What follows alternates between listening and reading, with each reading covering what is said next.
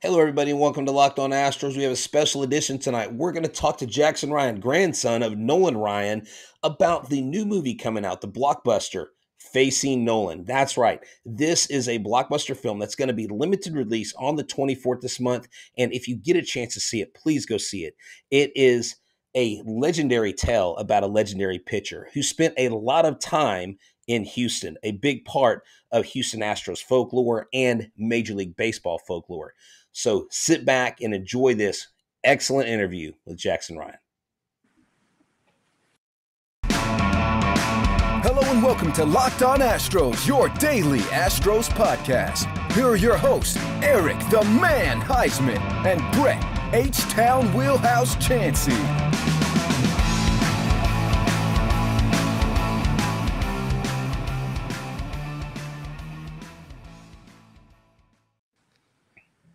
We are Locked On Houston Astros, and we hope that you join us for a daily Locked On Astros podcast. My name is Eric Huysman. You can find me on Twitter at Eric Talks Astros. Find the show at Locked On Astros, your team every day. Brett, where can I find you at? They can find me at H Town Wheelhouse on Twitter and Instagram, and at Stros411 on Twitter, Instagram, and Facebook. Always positive. We love knowing Ryan here. Always Stros. All right. Thank you for making Locked on Astros podcast your first listen every day. And uh, keep on subscribing to us on YouTube. Keep on uh, liking us and keep on making us your first listen on your way to work, on your way home for work, on Odyssey, Apple, Spotify, wherever you listen. And we got an awesome guest today. We have Jackson Ryan. He is the grandson of the legendary Nolan Ryan. And uh, he is the only reason why I have anything Rangers in my house. Uh, the Astros shrine I have, he's the only uh, Nolan Ryan is the only reason why I have anything here. So, uh, Jackson, how are you doing, sir? I'm doing well. Thank you all for having me on the show. I appreciate it. All right. So today's episode is brought to you by Bet Online. Bet Online is the best place to get anything you need to uh, to make a bet. Bet Online has you covered this season with more props, odds, and lines than ever before. Bet Online where the game starts. So uh, let's go ahead and, and, talk about how cool it is. I know we did this with uh, when we had your father on. We said, how cool is it to have your father be Nolan Ryan? So how cool is it to have your grandpa be Nolan Ryan, the um, the the Ryan Express, and just everything that went into being the grandson of Nolan Ryan? No, it's very cool and very special. I've been very blessed to say the least being having my grandfather's Nolan Ryan and my dad being Reid Ryan. They've shown me not just the baseball aspect of it in life, but also how to treat people, how to be respectful, how to do things the right way. So that stuff to me is more important than the actual baseball stuff that I've learned from them. And that's what a lot of people focus on, like us, when we commentate on baseball. And that's really all we talk about. And that's what we do here at Locked on Astros. And there is a human element, and that's what we've seen. Um, and I, am going to k- kind of tie this into what you're doing. We've actually interviewed recently several minor leaguers in the Astros organization um, Alex McKenna, Joe Record, uh, you know, Jonathan Sprinkle, Joe Perez um, Jordan Brewer, to name a few. And you are actually working as an intern in the Kansas City Royals minor league organization. Is this something that you've always wanted to do um, since you, since you've grown up as just working baseball? Yes, it's been very passionate of what I want to do in life. Um, I've been very fortunate. Back in 2020, uh, I know one of their assistant GMs pretty well, and Gene Watson. He had me come over before the season started and sit in on pro scouting meetings. So I'm an intern with their pro scouting department right now. I'm actually in Amarillo, just got done seeing a double A series up here. And so I, I basically just go around to different ballparks and look at certain players and write reports. And I've been very blessed, to say the least, to be under a great organization from Mr. Sherman to Dayton to JJ to Scott to Gene uh, to Pedro. So I've been very fortunate, to say the least, to be with the Kansas City Royals organization and a first class organization through and through. So I know you're doing a lot of reports on the minor leagues. Are there are there any like um, Royals prospects we should be keeping an eye out on? Well, obviously you have Bobby Witt Jr., um, number two, two, overall pick a couple years ago. You obviously got MJ Melendez, um, Vinny Pasquantino is down in AAA, as well as Nick Pratto, just to name a few. So right. it's uh, been very cool to see and very special. We're very young organization and you want to build that core and go all the way through. So let's get talking about this film. You know, that is awesome. I know you're doing things that a lot of people watching the show or listening are like, "Man, I wish I could do that." I mean, just just just just to be a fly on the wall, literally listening to those conversations with drafting and prospects, it ha- has got to be neat. But this movie, Facing Nolan, Facing Nolan was a was a tall task for many hitters um, we talk often um, in baseball circles today when you see players dig in. You know, we're like, ah, you know, if Nolan Ryan was pitching, you didn't necessarily dig in. Like that was his plate. And, you know, he made his presence known on the mound. He was very intimidating. When this movie was talked about being made, was there apprehensions or were there a lot of questions that came from your family, from from your grandfather? Because you always want to make sure that the portrayal – is a good portrayal and an accurate one. Yeah, I don't know too much about the inside of it because that was my dad and my uncle and my grandmother really pushing my grandfather to do this no. documentary. Because probably as my dad has said in the past, my grandfather really didn't want to do one before, and my grandmother was a very big influence in making this possible. What this movie is going to show is the the side that most people don't know about Nolan Ryan, as well as how much of a love story it is between my grandmother and my grandfather. And to be honest with you, I think this is more of a story about my grandmother than it is my grandfather actually with facing Nolan. Wow. That's interesting. I mean, you think it's mostly about the hitters and from hitters' point of view, but you're saying it's more of the personal side of Nolan Ryan. So that's interesting. That makes me want to go watch it. So, I mean, I, I want to see what George Brett and some of those people have to say about facing a Nolan Ryan, but uh, that's got me a little bit intrigued about that. So, uh, have you seen it? Yes, I have seen it. We've had different showings. We had one up with the Rangers ballpark um, for the st- stadium tour premiere, and then we had one over at Dell Diamond as well. Our AAA team that we own, um, AAA of the Texas Rangers now. So we did that on May 14th. Yeah, and you know, speaking of AAA, that is where back in 2019, my son and I actually had the honor of meeting you when we were interviewing. I believe it was Josh Rojas, Brandon Bielak, and and um and Collin McKee. As before Josh Rojas got traded to the um to the you know to the Arizona Diamondbacks for Zack Greinke. Um, and I remember meeting you there, and I just I, I just want to tell people out there, if you ever meet Jackson, he is he is truly is a product of his environment. Um, I remember you gave my son a baseball. Um, he hadn't had one yet, and he was like, "Hey, man, here's a ball," and th- and that was neat. And my son was like, "Who is this?" And I explained to him who your grandfather was, and so you could tell right away that that these that these family values, that these the way you treat people was was you know really really handed down now a lot of people talk about like i said earlier the intimidating factor of of your grandfather we, with your grandfather being as tall as he is right? Being kind of just i mean he's just an awesome presence whenever he's in any room. What was he like with you guys growing up? Was he kind of like he's grandpa and he was like this soft teddy bear or he was intimidating? What was that like? He was very supportive of what we were doing. Um, for instance, my sister, he'd always come to her um, Final Four games, state championship games in basketball in Waco. Um, he'd come out to see me pitch. He saw me pitch at UMHB my freshman year, um, my one outing out in college. So he was very supportive of what we were doing, and he's very caring and loving as well.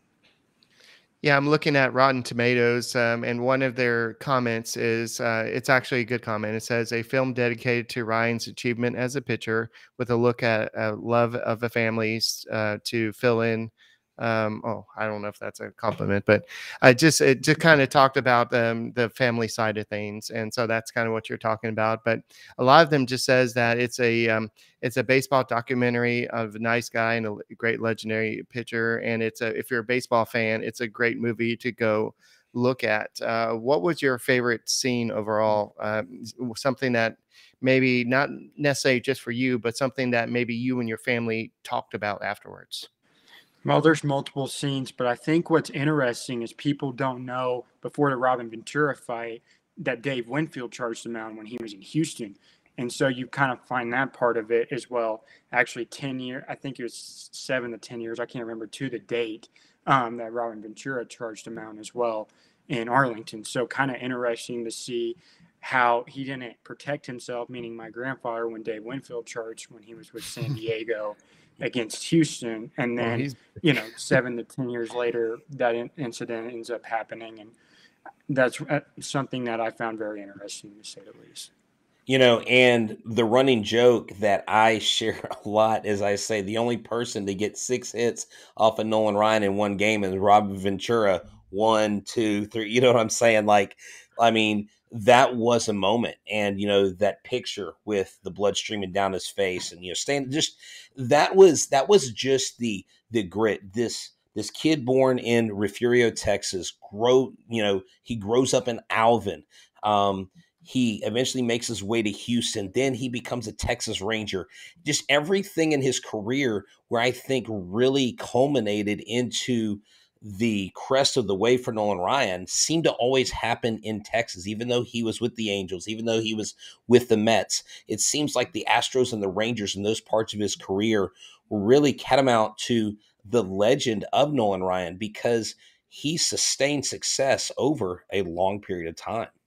No, y- y'all would be right to say that. In the movie, it talks about my grandfather says that he is a Texan and he's proud to be a Texan, and it means something to be that. And so to see 80, to see 86 in Houston, and for my grandfather to be the first million dollar player, and they explain that, and then to see those teams go super far and be this close to the World Series, and then find out what happened with the Astros, and then for him to go to the Rangers and have 5,000 strikeouts and the seventh no hitter and all the accolades that came with that was very interesting and very special to say the least. All righty. So uh, in a second, we're going to ask uh, Jackson about uh, Nolan Ryan's overall take on the movie. But before we do that, it seems like Robin Ventura uh, got a lot of building when he was uh, taking those punches. So let's talk about Built Bar a little bit.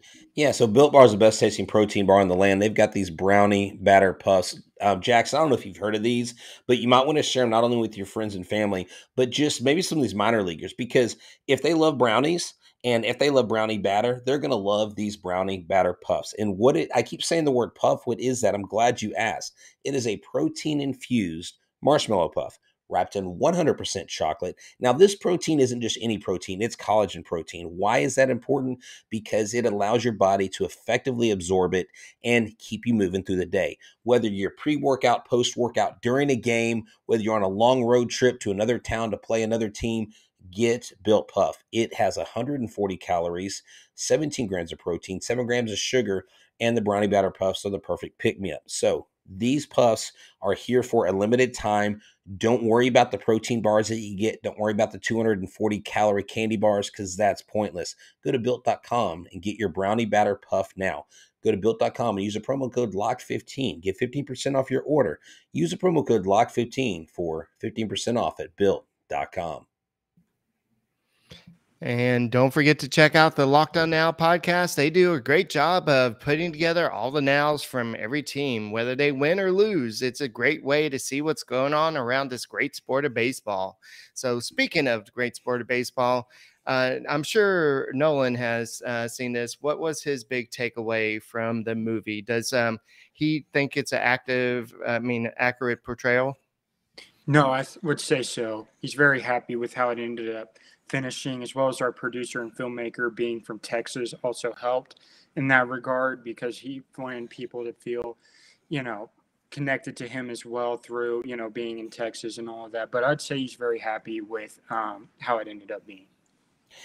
It, and I think it's interesting that you say that that um, his wife Ruth and your dad and your uncle all encouraged him to do this and it does sound like Nolan, from what I've heard from people that know him personally, people I've talked to, it doesn't surprise me that he's like, you know what, we don't really need to do this movie. Like your your grandfather to me just wore this wore this like he had this aura about him on the mound. He was a superstar, yes. He was one of the best pitchers of all time but he was a down home guy. He, like you said, he was a Texan through and through. I remember growing up watching the "Don't Mess with Texas" commercials with Nolan Ryan in them, and I, I mean, just just everything about him was absolutely legendary. Um, I I got to watch him growing up in the Astrodome. Watch him pitch. I mean, if you look back on some of those staffs when they had Scott, Ryan, and Knepper, oh my gosh, you want to talk about a one, two, three punch. And he was so close to so many more no hitters. I mean, he had like 20 or 23 one hitters, something, some amazing number. I don't even know the accurate number. But with with all that being said, um, what do you think he looks at in baseball as his greatest accomplishment? Is it the strikeouts? You know, like what is it about his career that he is most proud of? I actually don't know because we don't really talk about his career a whole lot, and he doesn't like to talk about his career. One of the things that I actually value most about him is that he's not about himself in that regard. So to answer your question, I'm not too sure. No, okay. I like that. That's no, that's you know, and and that brings me back to knowing that whenever Major League Baseball players are sitting around the fire in an off season, they're not talking about balls and strikes, game strategy. They're talking about family. They're talking about hobbies. Um, you know, I know your dad is is is real fond of his dogs that he has, and you know, Nolan I know was kind of your down home country boy, um, and just you know he had he had a large piece of land there in Alvin, and I remember someone actually drove me drove me by his house when I worked there. Um, you know, in a youth group, he's like, "Look, it's just a, it's just a regular old house with a bunch of land, and and he he's just he, he's just a regular guy." And you'd love to hear that about him. Yeah, I mean that we're all regular human beings at the end of the day, and so it's about being the best person you can be every day. Treat others the way you want to be treated, and do what's right in the eyes of the Lord. And if you do those three things, you're going to be good to go.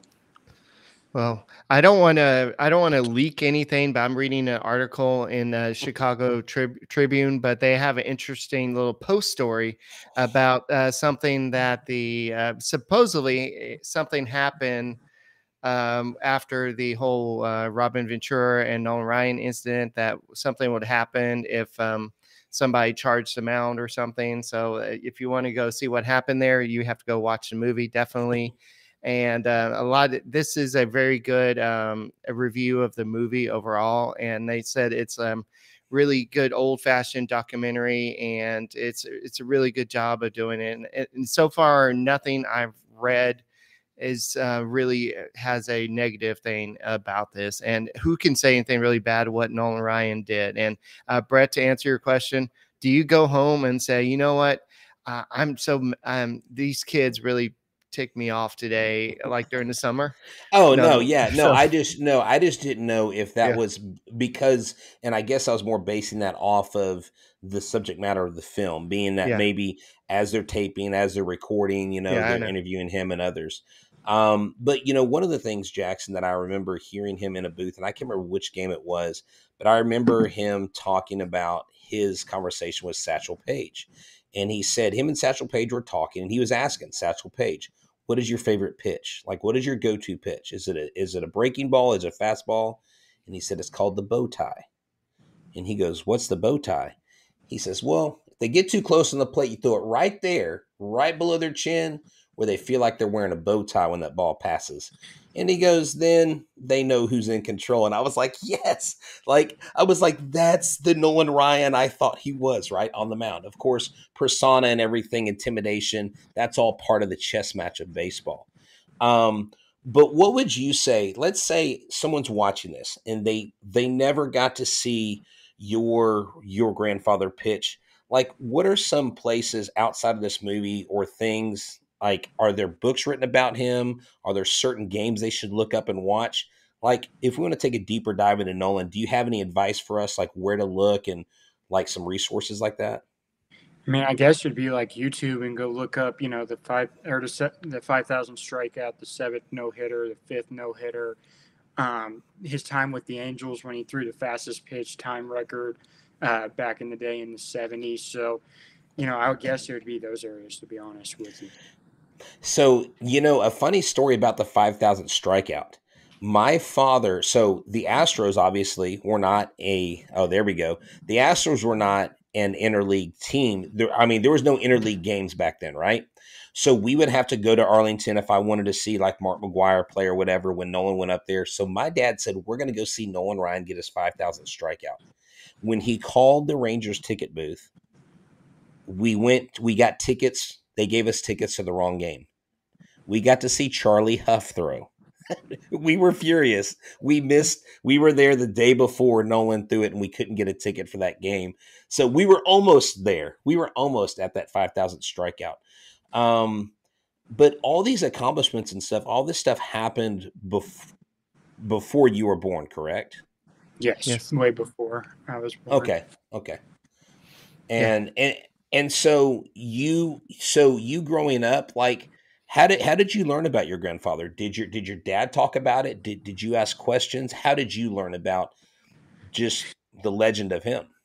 I think just being at the ballpark, to be honest, because when I was eight, well, we started the Express in 2000, and then after that, my grandfather went to the Rangers from 2008 to 2012.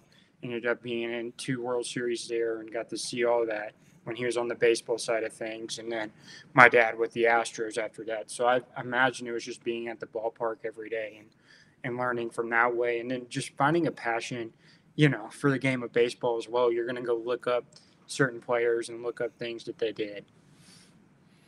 Yeah. Yeah, I was going to ask that. Like, uh, what was your experience? But that that was perfectly. Uh, you answered that uh, great. Just being around them, uh, we saw what Jeremy Pena hit the experience he got last year in the playoffs and how it helped him this year. So, sounds like that's kind of what you got. Just being around your dad and your uh, uh, grandfather. So um, it kind of led you to where you are now, working for the Royals. So, uh, where do you see your future from here? I know you're doing this minor league thing with the Royals now. Do you, where do you see yourself kind of going from here? I would like to try to be a GM someday. That would be the end goal. Um, obviously, there's steps that I have to take, a ton of them. I've been very blessed, to say the least, to be in the pro scouting department for KC and learn as much as I can every day. So I just want to continue to grow, try to be in the game, and try to work my way up someday if I can. Um, basically, on the opposite side of what my dad did, being on the business side. Um, you know, I want to be on the baseball side, and I'm more passionate about what's on the field compared to what, you know, you need what's in the stands, and that's very important. But my passion is what's on the field and trying to help deliver a championship. Did you play? Uh, I played college baseball um, one year at UMHB Mary Hardin Baylor Division three in the American Southwest Conference. Okay. And and you and you also played um, at Second Baptist High School, I believe, correct? Um, yes, I you, did. You guys showed up. So I I left there. Um, my family moved to Louisiana. You guys showed up. I think the year after I left, and that's when Berkman came in, and then shortly after that it was Pettitte and sometimes the baseball gods put me away from baseball players because I guess they think I'm going to bring an equipment bag and ask everybody for an autograph because I can't because I tend to be a fanboy, you know. But um, I remember hearing about you, and I remember because I, I believe you had um, you had Miss I believe you had Miss Simonton as your senior Bible teacher, correct? Yes. I and did. she, um, I would always keep in touch with her, and she would say, "Oh my gosh, Jackson, he is he is such a sweetheart." And so I said, you know that that whole family um, is is is absolutely golden, and everything I've heard about y'all. So you know, major props. Let your let your grandfather know that um, we still hold him in high regard, not just what he did on the field, but also off the field. Yeah, I appreciate it. You know, going back to second, real quick, we had Lance Berkman, Andy Pettitte, Rayner Noble. Rayner was at U of H for 20 years, so we would go to, you know, play at 5A and 6A public schools and at spring break, and you know that was very fun to play for them as well. Yeah, I mean, uh, just what Nolan Ryan did. It, I don't think we'll ever see players, pitchers do what he did. In 1972, he had 20 complete games. 1973, he had 26 complete games. 1974, 26 complete games. Pitchers nowadays, they maybe get like three in a season, maybe. This year, maybe two. It just it, uh, complete games like Nolan Ryan is a dying breed. They don't have those type pitchers anymore. I mean, Justin Verlander may be one of those, but he's still uh, he doesn't even pitch those complete games. Uh, those old school pitchers, what Nolan Ryan was, what Satchel Paige, what a lot of those old school guys. Um, that that's when the pitchers were able to go deep in games. Now you're focusing on throwing harder, throwing it uh, the the the what spin rate and everything. And so I don't know which one's better baseball. Uh, you'll have to answer that, Jackson. But uh, I don't know if pitching more innings or pitching harder. Which one do you think is better in the long run? Man, it's just a different philosophy in today's game. Obviously, you still have Justin Verlander, Gerrit Cole, um, to name a few that you know could throw complete games um, now. But it's just a different philosophy. We talk about it in the movie. My grandfather does about his mindset was to go out and pitch nine innings, and if he didn't do that, then he wasn't completely thrilled with what he did in that outing. So I think with today, with analytics and how they're doing different things within pitch, you know, pitcher's philosophy as well as pitch count and how much rest a pitcher needs. Yes, there are advantages of that, but there's also advantages of the old school mindset. So I feel like you need to have both in today's game where you listen you know, to what the player's saying and how he's feeling and stuff like that. But you can also use the analytics to your advantage as well.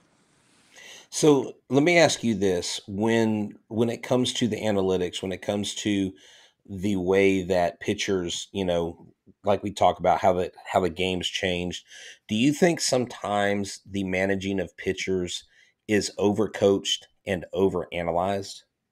Maybe. I think it just depends on the situation. So, for instance, this is an obvious one back in 2020 when Blake Snell was in the sixth inning and dominating LA in game six of the World Series, even though the Dodgers were coming up for the third time of the lineup. It was just interesting to see them yank him and then ended up losing that game. And it's easy to second guess these managers, right, and what they're doing and what they're thinking.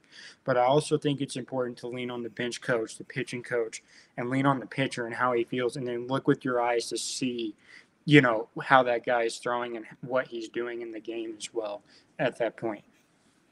What about removing Zack Greinke to not?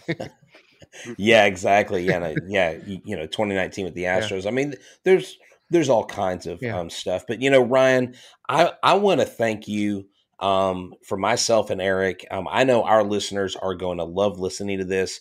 I appreciate you coming on, and I hope in the future we can have you on and maybe talk some prospects.